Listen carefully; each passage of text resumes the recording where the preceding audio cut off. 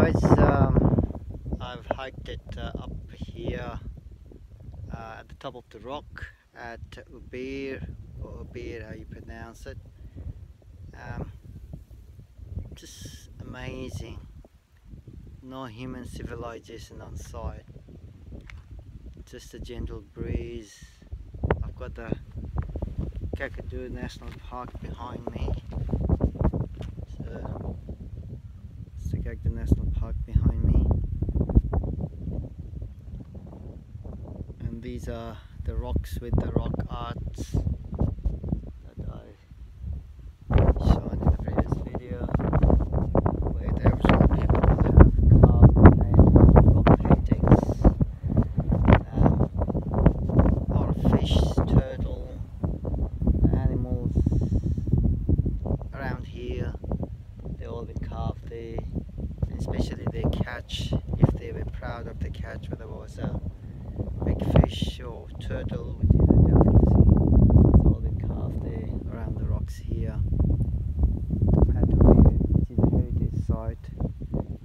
Um, so yeah, just peaceful with no one around. It's top of the rock here. You can see the flood plains behind me of the East Alligator River. Just behind me there. As you can see. And I turn around. I think that's the monsoon forest there. Uh, the middle one there is born of the Aboriginal country. I can't pronounce the name. Then you have the Arnhem land there. Hill there. Yeah, that's it. That's the Arnhem land. Right over there. Then you have your, you got the eagle going up here. It's so high. You can see the eagle there.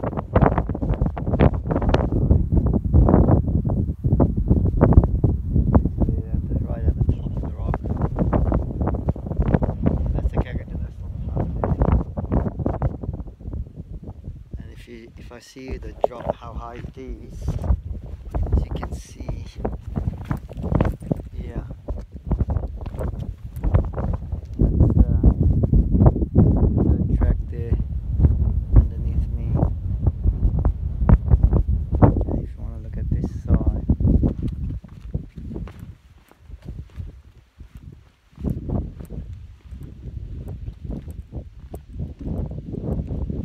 the cliff goes right down. Yeah. It goes all the way.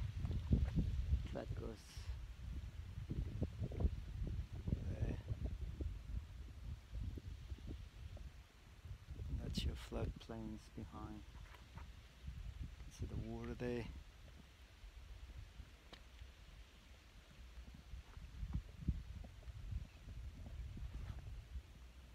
So yeah, absolutely beautiful here.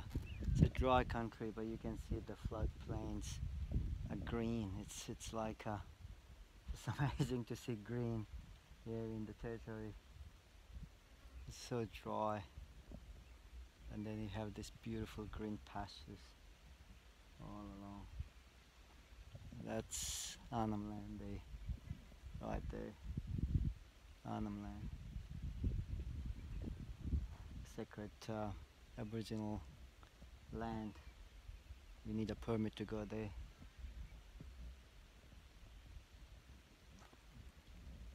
It's beautiful, serene. I'm just gonna rest here for a while. Head down after that. Yeah, it's a place to visit. Ubirr, pronounced Ubirr. Right here.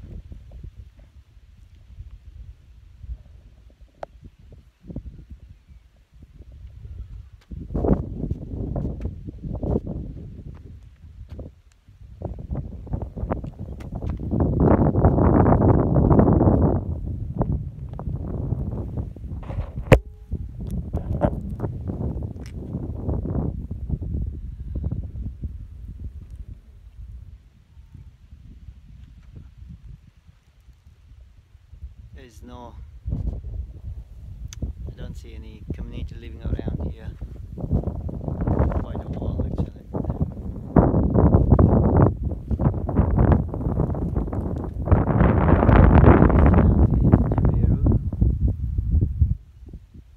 That's like um, yeah, at least uh, half an hour away.